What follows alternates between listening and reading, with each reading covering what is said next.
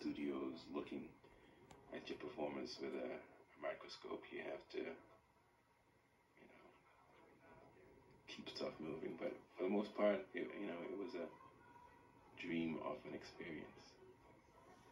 Thanks for listening. Uh, hope you enjoy you enjoyed the commentary and look forward to the next one. And thanks, Mom and Dad. Blessings flow.